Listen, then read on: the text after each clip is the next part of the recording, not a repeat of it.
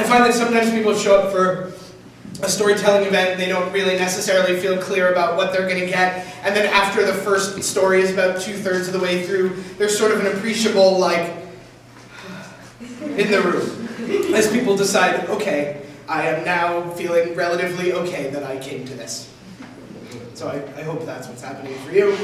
Um, but in case it's not, I'm going to skip right on to the next story pretty quick before you have a chance to escape. Um, this story is called Hiddur Mitzvah. On Fridays for Shabbos, we bring out the Shabbos things, the items made beautiful by custom and law. Hiddur Mitzvah is the Hebrew term for this the enhancing of a good deed by making the objects used in it beautiful, as a way to sanctify the act and praise Hashem who commanded it. In our house, as in many houses with multiple generations of Jews and Jewish relatives, the objects are, well, hodgepodge would be a kind term. We have two challah covers, one that my husband Ishai was given as a gift upon the occasion of his conversion to Judaism, and one that my mother needlepointed for me while she was going through her needlework phase because no one wanted a new tallis. you can't keep a needle pointer down.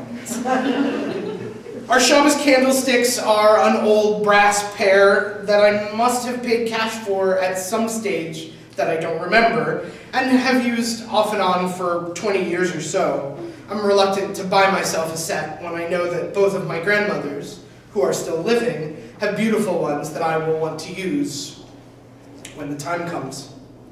These, in the meantime, have a somewhat utilitarian nature, but they're familiar and therefore comforting.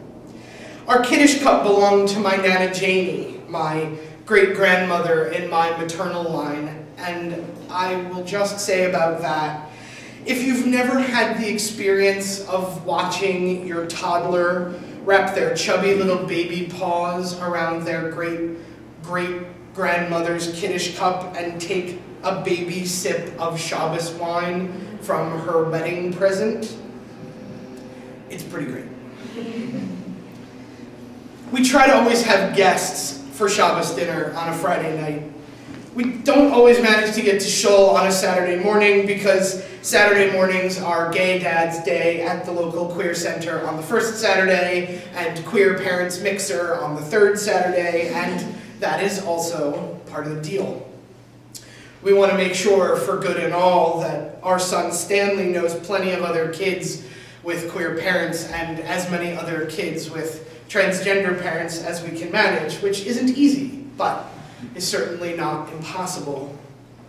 And at the same time, I grew up in a synagogue, and all the grown-ups had known me forever. And my memories of kiddush and laughter and making holidays with the same people my whole childhood are so present and kept me connected to my congregation and to Judaism even when the forces of queerness seemed like maybe they were going to push me further away. The Sosteks, the Friedlanders, the Weisses, the Arbites, they welcomed baby queer me with tenderness and ran interference with my parents about it for a decade. but Friday nights, we get the job done.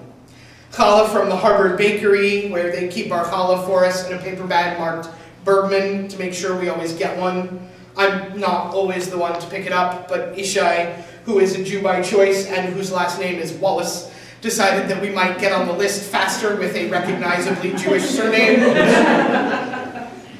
I light candles. We make scooping motions with our hands and pour the Shabbos light over each other and our son and if they're into it, our guests. we pour a kiddish cup of wine and share it. We make a motzi, the blessing over the bread. And then Ishai and I feed each other the first morsel, which still feels really nice. The candlelight does what candlelight is supposed to do, especially in conjunction with wine. And it's all very peaceful even when the little dude starts campaigning for ice cream 10 seconds after dinner has started. He gets ice cream on Shabbos. That's what he remembers. First candles, and then wine, and then ice cream. so where is it? and we invite people to share. Our kitchen table seats six, and we can, with judicious use of stools and a certain amount of attention paid to the width of each individual guest, manage to stretch it to eight. We try to make a mix. Uh, some people with whom we've shared a lot of Shabbos, and some who are new friends. It takes a certain level of tolerance to come to Shabbos dinner at our house, since the hosts disappear in turn after dinner is over to bathe the little chatterbox and then put him to bed, and people are frequently hijacked into command performances of story reading. Stanley does not like to feel left out. Mm-hmm. Bringing friends and family to Shabbos dinner when you have a little kid is a way to make sure you get to see them, since we pretty much go to bed at 10 these days. But it's also a way to make sure that Stanley never remembers not knowing them. To make sure they feel like family, like Mishpacha, his Auntie Abby and his Sparkle Chris, and his Tanta Hannah and his uncles Nick and Cyrus, and his baby cousin Amelie, to whom he is not in any sense related, except that absolutely these people are his family. I think I was a little older when I first discovered that you could use these kinds of words, words that are heavy with default meaning, uh, to make space for relationships that not everybody can understand. My son's got a couple cousins like this, including Morgan, the teenager that I usually shorthand to my niece, even though the actual explanation has no siblings in it whatsoever. Ishai, my husband, refers to her as the household teenager. Stanley calls her his cousin. She sometimes refers to us as her uncles, and then also sometimes her other parents. I think of them as words that already have so much meaning they won't mind, or honestly even notice if we slip our meaning in there as well. People don't ask her, they just assume, oh, your uncle, the brother of your mother or your father. No one jumps straight to, oh, your uncle, the husband of your parents' former live-in lover. I consider this a failure of imagination. so now we have this kid of our own, this kid whose family tree is practically bent double with relatives of assorted kinds, blood and marriage and wine and glitter. My parents' closest friends, our closest friends, legitimate blood relations, and the people who declared upon Stanley's arrival in the world their intention to be his family. The person whose proper title, if we're being literal about the thing, is the person with whom Papa, that's me, I'm Papa, has had the longest and most tumultuous working relationship and love affair of his life, claimed for herself the title Fairy Godsmother. okay. I could grade and assign distinctions, sure, in town, out of town, related by blood or marriage or wine or glitter. But I don't, for two reasons. One, too many people are in more than one category, and then also, uh, what's the fun in that? Part of what I adore about the family that has coalesced around our Shabbos table and around our son is how magnificently diverse it is in every way. How many genders and sensibilities and sets of interests and politics and points of view, how many tattoos and how many piercings, how many racial and ethnic and cultural combinations, and possibly most of all, how very befuddled my parents are. In the recognition that their grandson is also related to this melange of people, which means that there is some way however slender it might be, in which they are also related to them.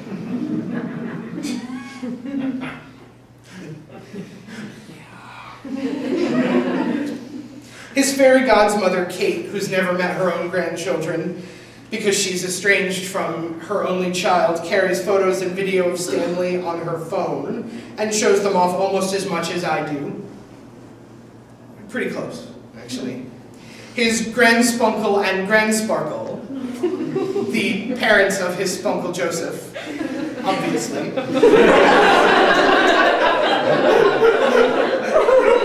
well, who else could fell over his every milestone with obvious delight and forward the emails I send them containing pictures of him to a truly astonishing number of people. they seem to have no concern whatsoever about explaining to all and sundry that their son, the heteroflexible rabbi, has made a kind of queer family with two trans guys via both intention and sperm, and is now known to a rambunctious three-year-old as Spunkle Joseph.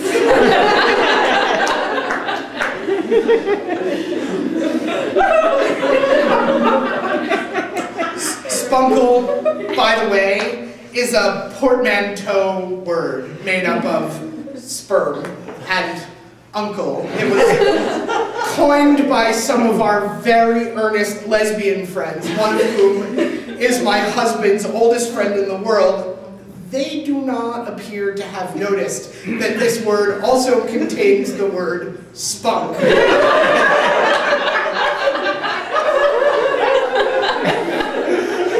and is therefore a little giggle word, especially to.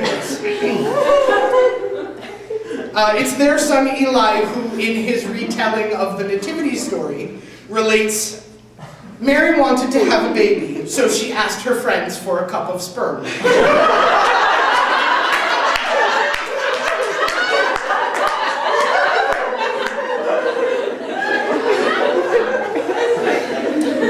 because in Eli's world, that's how babies are made. it's hard to argue.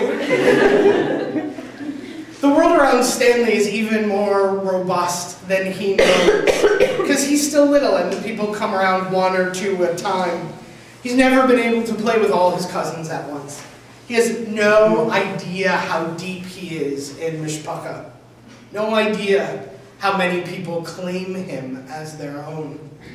Which is, of course, exactly what I want for him, and we fly places and have Skype dates and do all manner of things to keep him connected and deepen the connections that exist.